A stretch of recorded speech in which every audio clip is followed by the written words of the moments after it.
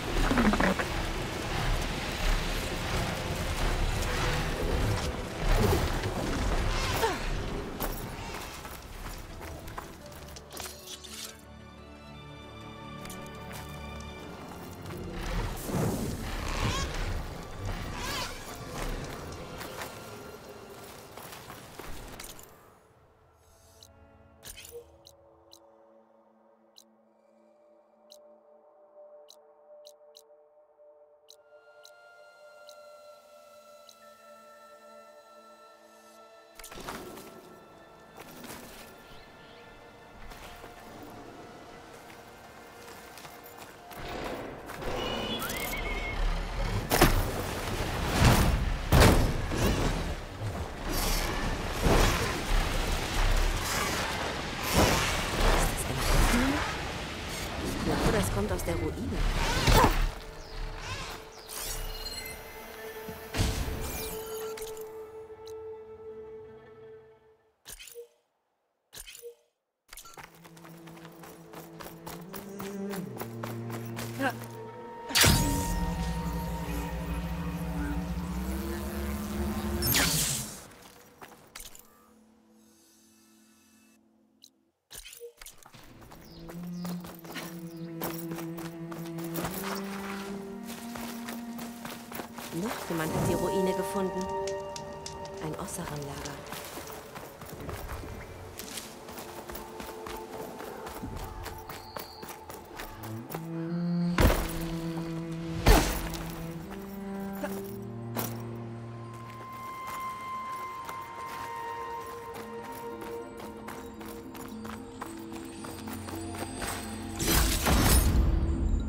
Hier gibt's Daten. Diesen Daten zufolge könnte oben ein Code sein. Der Aufzug ist garantiert hinüber.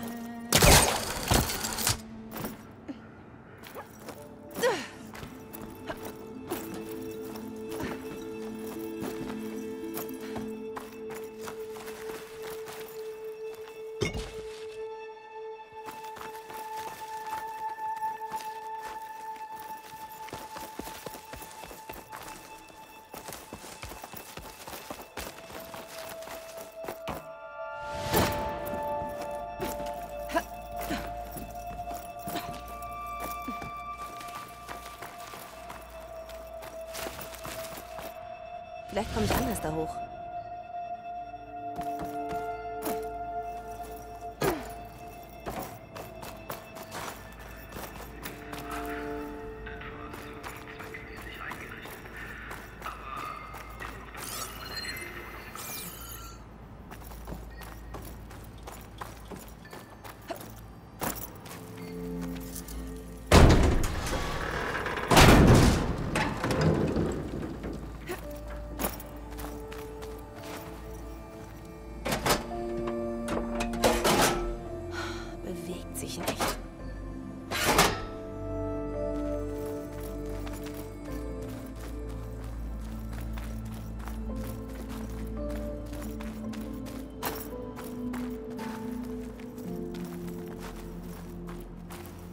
Da drin ist ein Ornament.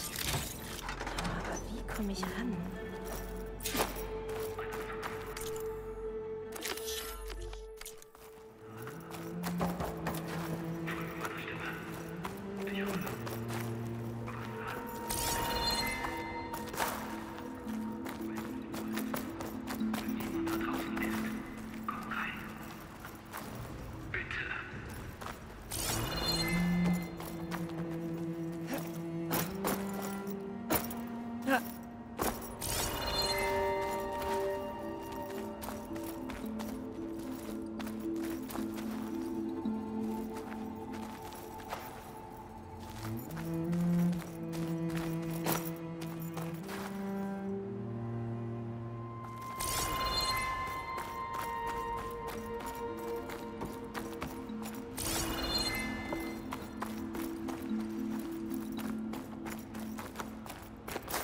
Wohl ans andere Ende des Tunnels kommen kann?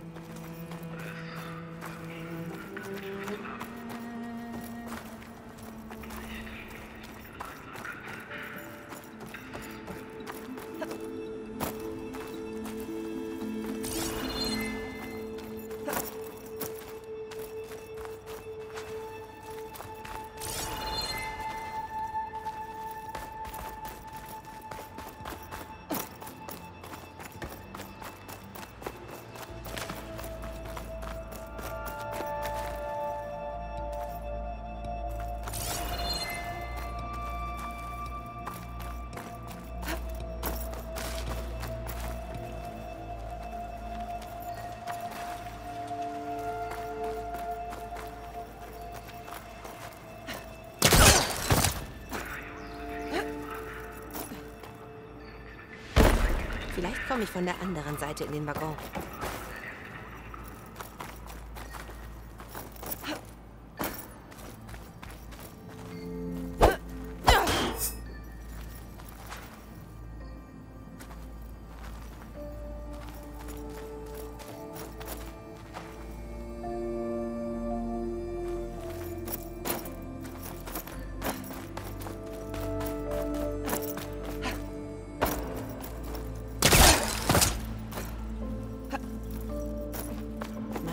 Was hier unten ist.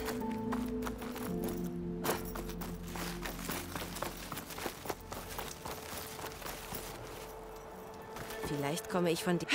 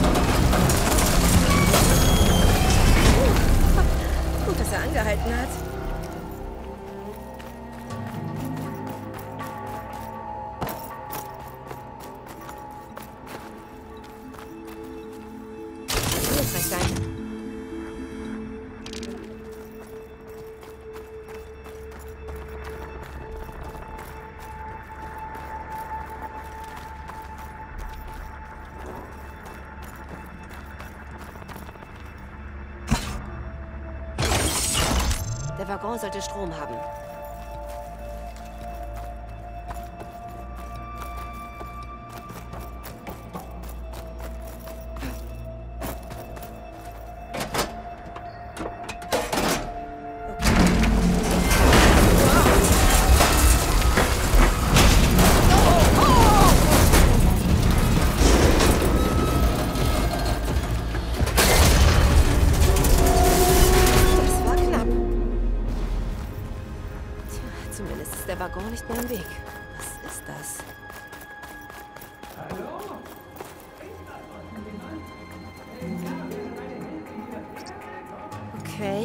Denk nach.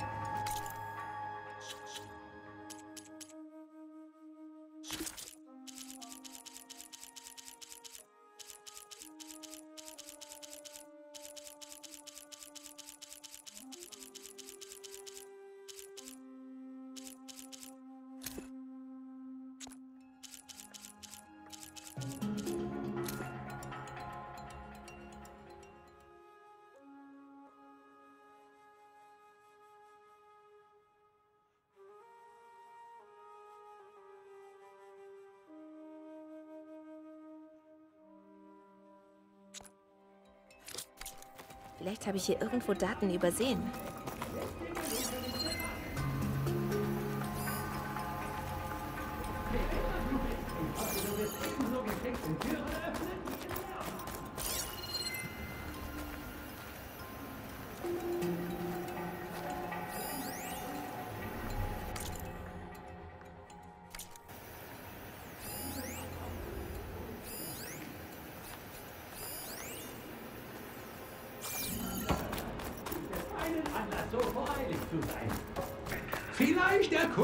Auch nur die faszinierende Umgebung.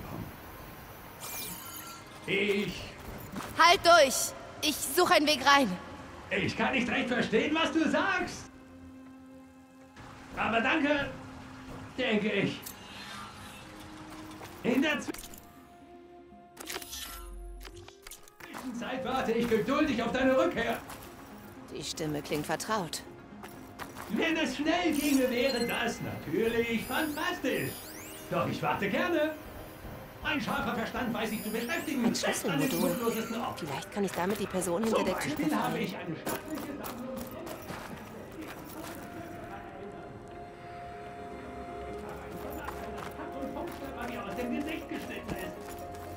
Den Daten nach soll oben ein Code sein.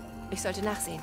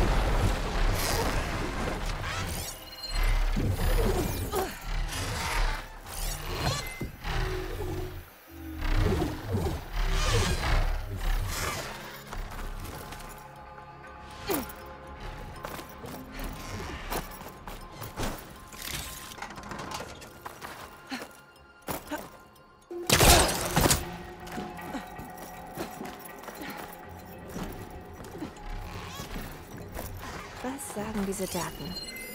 Die Daten könnten nützlich sein.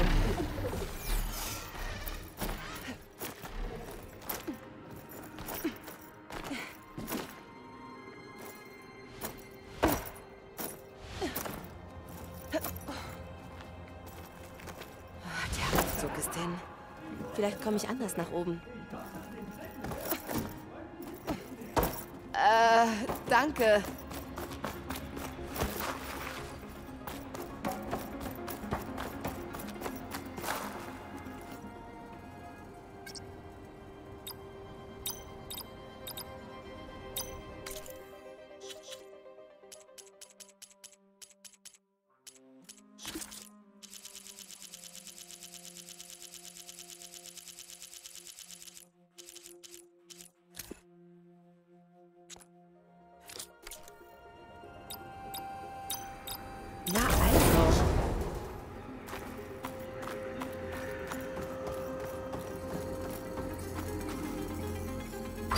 Ornament. Ich sollte zurück nach Vegas und das Demo geben.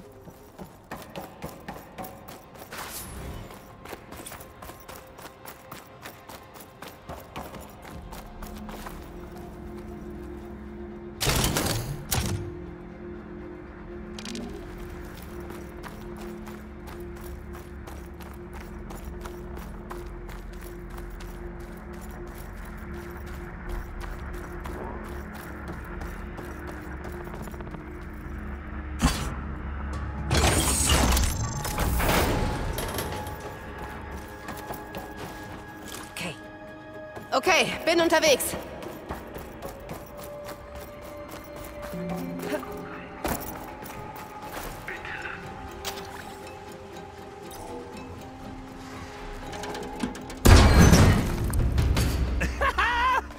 Noch ein glücklicher Hammerschwung für den Alten. Gildun? Aloy! Meine Flammenharnora, meine Dampflickerin, mein zweites Paar Hände. Dass wir uns noch mal unter solch vertrauten Umständen begegnen. Ha, wer hätte es gedacht? Wa- Was machst du hier? Tja, also, alles fing damit an, dass ich Echos einer höchst sonderbaren Stimme hörte, die mich zu diesem betörenden Ort lockte. Aber ich widerstand ihr. Ich wusste, dieses besondere Abenteuer musste ich teilen. Also holte ich meinen Freund Oliver, der begeistert mitkam. Äh, und wo ist er? Leider wurden wir getrennt, als wir auf dem Weg hierher in einen tosenden Sturm gerieten. Fegte mich glatt über Bord. Ich trieb in den Wellen, sicher, dass mich gleich ein Schnappmaul frisst. Aber nein, das Meer spielt den alten Gildun am Ufer wieder aus. Olva dachte zweifellos, ich wäre tot und zog weiter, wie es jeder wahre Stöberer tun würde. Ich folgte seiner Spur, soweit ich konnte, bis ich zu einer Tür kam, die sich nicht öffnen ließ. Natürlich suchte ich einen anderen Weg hinein. Da entdeckte ich einen uralten Hebel mit verführerischem Türöffnungspotenzial. Also hast du ihn betätigt. Ich habe ihn betätigt. Was vielleicht rückblickend betrachtet die Tür hinter mir verschlossen hat. Und so begegnen wir uns erneut ganz zufällig wieder. Nochmal kurz zurück. Wie kommst du überhaupt hierher? Als ich dich zuletzt sah, warst du am Damm, ganz im Norden. Als du fort warst, wanderte ich ein Weilchen herum, sah mir ein paar Ruinen an. Versuchte mich sogar an einem Damm jenseits von Fahrlicht. Aber nichts kam unserem Abenteuer gleich. Du bist vom Banuk-Gebiet bis in den verbotenen Westen gewandert? Ein Funken im Wind. So ist Gildun. Und rein zufällig stieß ich auf eine Expedition zu den brennenden Küsten. Die perfekte Gelegenheit für Kameradschaft und Abenteuer, dachte ich. Also schloss ich mich ihnen an und hier sind wir. Also, ich weiß nicht, wie du unversehrt bis hierher gelangt bist, aber... Schön, dich zu sehen, Gildun.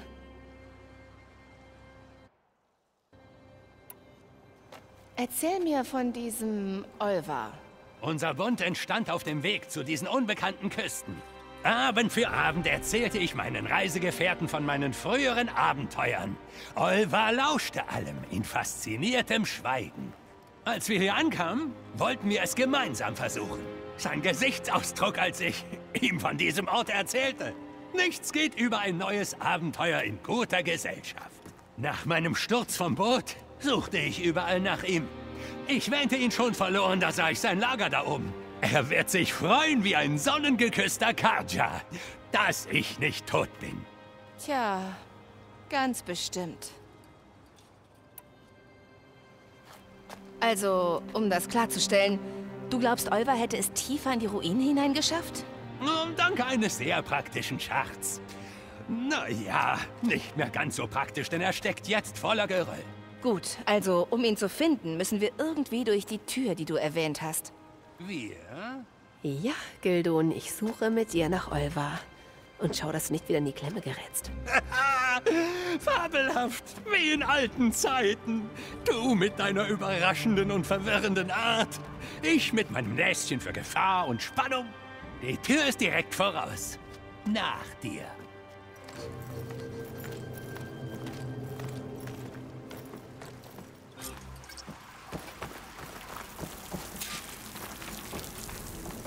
Willkommen in meiner bescheidenen Hütte. Hübsch hier. In der Tat. Ich hätte diese Entdeckung gerne mit Olma geteilt. Leider fiel ich ins Meer, als die Ruinen in unsere Sicht kamen. Doch stell dir meine Freude vor, als ich meine Laternen im Tunnel entdeckte. Olma hielt mich für tot und konnte sie gut nutzen. So einfallsreich.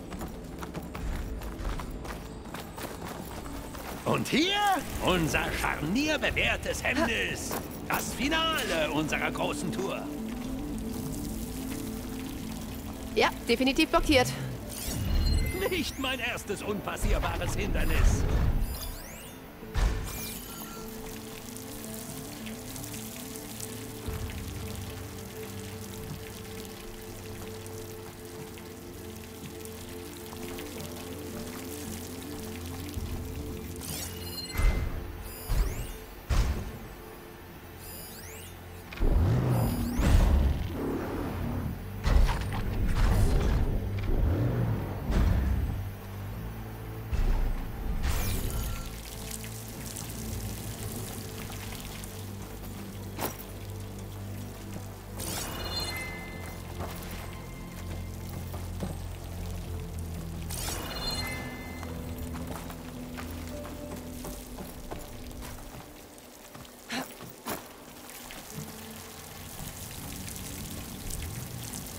Oh, ohne einen Passcode kommen wir nicht durch. Passcode. Natürlich. Was ist das? Äh, eine Reihe Zahlen. Sehen wir uns um.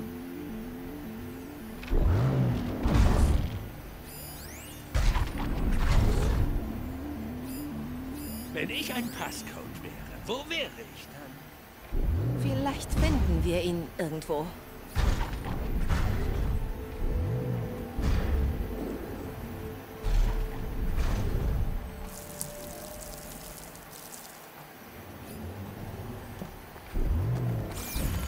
Wir könnten den Weg nochmal zurückgehen. Eine geniale Idee. Hinweis ist immer gut.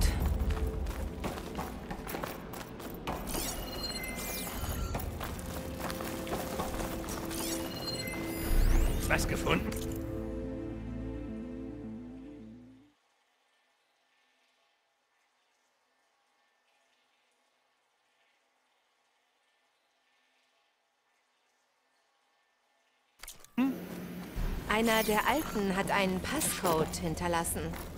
Er war allein hier. Er sendete die Nachricht und hoffte, andere würden kommen. Ist jemand gekommen? Weiß nicht. Sollen wir den Passcode versuchen? Ich brenne darauf, dass du Olva triffst.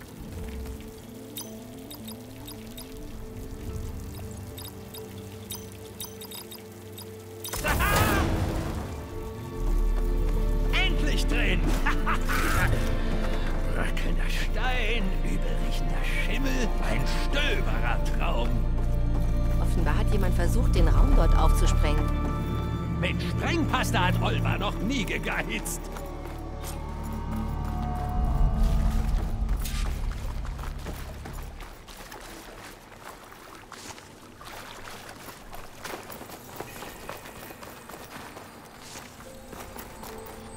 Ja!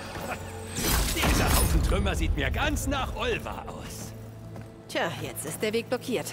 Wir müssen anders da hochkommen. Der Vorsprung ist zu hoch. Ich würde dir ja helfen, aber meine Knie sind nicht mehr die jüngsten.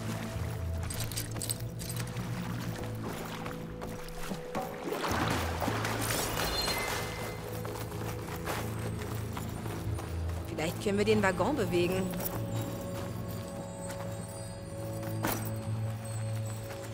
Kannst du mir helfen? Was immer du brauchst.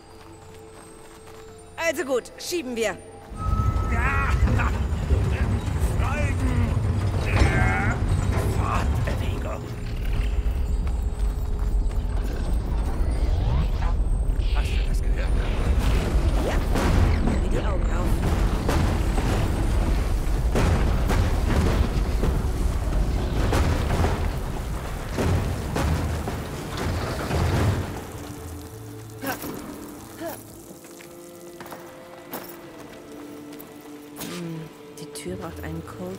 Ein Schlüsselmodul. Einen Moment bitte. Ich sehe mich mal um. Keine lohnenswerte Grabung ist frei von teuflischen Risiken. Der Waggon blockiert meinen Weg. Vielleicht komme ich irgendwie drum herum. Was sagst du? Nichts!